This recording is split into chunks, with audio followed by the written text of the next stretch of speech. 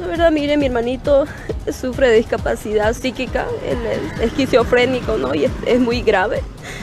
Pero mire, lamento la situación de los policías que yo llamé para que me ayudaran porque él estaba incontrolable y es que le he dado medicación. Y no vine desde mi puesto de trabajo para ver esta situación, pero no hay ayuda de parte de los médicos, de parte de las mismas autoridades que ya he pedido, por favor, que me ayuden para un espacio en el psiquiátrico. Es muy difícil. Yo no les pedí dinero, lo único que quiero es que me ayuden con un espacio para poder yo transportarlo al lugar donde haya y internarlo a mi hermano. Tiene con 22 años. Hoy él estaba gritando demasiado, le dimos su medicamento, no le hace efecto. Queremos trasladarlo hasta a la ciudad de La Paz, a un psiquiátrico, pero no nos dan esa, esa opción porque él no quiere subir al avión. Ya le pedí al doctor Bacarreza, Mauro Bacarreza, de que si lo podría dopar, ver una medida de cómo trasladarlo dormido, porque él no quiere subir al avión.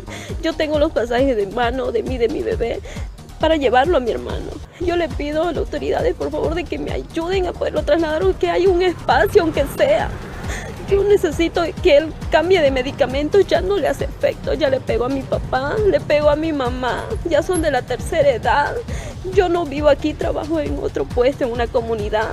Ya le he pedido a derechos humanos, a defensor del pueblo, he pedido a mi Maya, la doctora sabe, le pedí por favor, porque ni su seguro de él, que es de Conmil, ayudan. No, solo han dicho evacúenlo, pero no hay espacio. La policía ahora que le dijeron, ¿qué hicieron con él? ¿Dónde está su hermana? Él se encerró en el cuarto. No se lo. Se lo pueden llevar por lo que él es especial, ¿no? Y no lo pueden tocar, pero él golpeó a los policías. No estaba, me sonó con la silla, está incontrolable. Yo me vine de mi trabajo para venir a ver esta situación. Ya no sabemos qué hacer con él. A ver, lo único que ¿Cuánto quiere. tiempo le está así? Pues son varios años y toma medicación. Se lo ha internado en San Juan de Dios, en Cochabamba. Pero aún así sigue